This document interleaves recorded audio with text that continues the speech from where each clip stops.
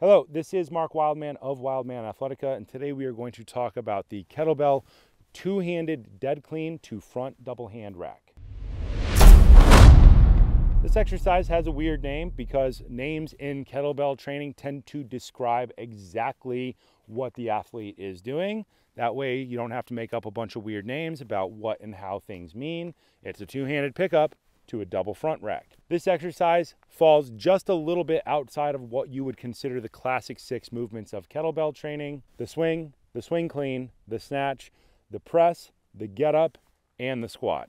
This exercise falls into the category of like a dead power clean. Dead means the kettlebell will be starting on the ground with no kinetic or potential energy we will do a hip snap up and we will catch the weight with two hands underneath the weight. This exercise can freak people out a little bit in the beginning because they're letting go of the bell and then re-catching it. Start learning this with a lightweight first. If you start with a lightweight, it helps people psychologically learn the catch so that they can move to a heavyweight. Step up to your kettlebell, two feet pointed straight ahead. This is a little bit different than other types of exercise because the bell can stay between our feet. It can track in a different path than things like barbells can. Thumbs point towards the sky, thumbs point forward. Get down, grab the handle with two hands. Stand up fast with the hip to the full standing position. Get your hands underneath the weight. The goal is to have the bell travel straight up and not to hit ourselves in the teeth with the handle kettlebell vertical in the catch. To put it down, take your hands out from under the bell, catch it, straight arms all the way down. Let's do it faster. All the way up, catch, drop, catch, touch all the way down.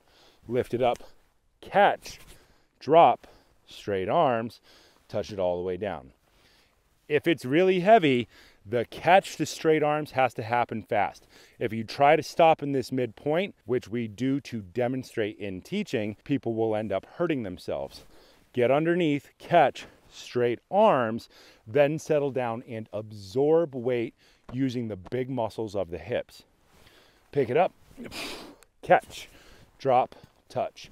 Pick it up, catch, drop, touch. Pick it up, catch, drop, touch. Pick it up, catch, drop, touch.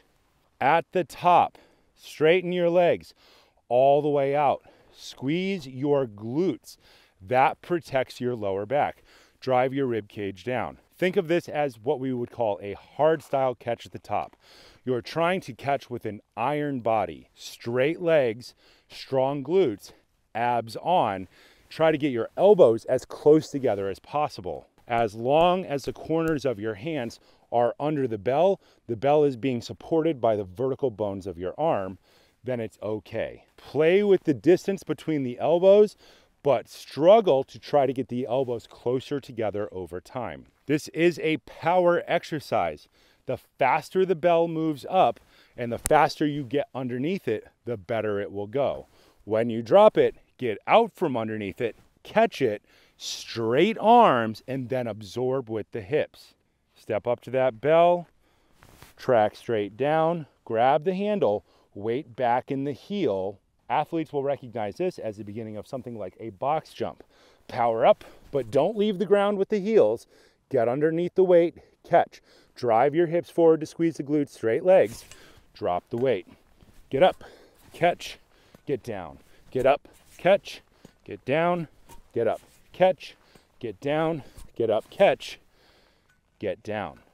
Normally with kettlebells, we do what's called a swing clean because most kettlebell training is based off of a swing, a swing clean, and a swing snatch.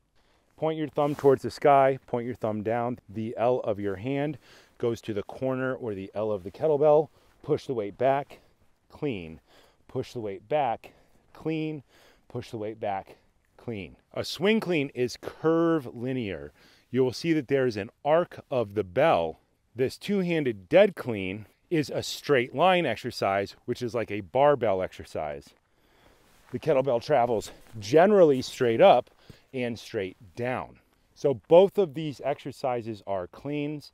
We tend to put the kettlebell swing clean into the category of more valuable because it allows people to lift for longer periods of time. And that is the point of kettlebells endurance weightlifting, learning to not let the kettlebell touch the ground for 5, 10, 20, 30, 60 minutes. This straight up and down exercise is more like a barbell exercise. It can be done for long periods of time because it is an intermediate weight, but it falls more into the category of a barbell power clean. So this exercise can be done with heavier and heavier weights. The most important thing is that when you catch, you're not tipping the handle towards you because the handle will end up directly in front of your teeth.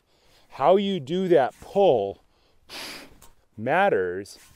Do not track it towards your face at all. If the handle is off, your line is off. Pay attention to your line because dental surgery is very expensive.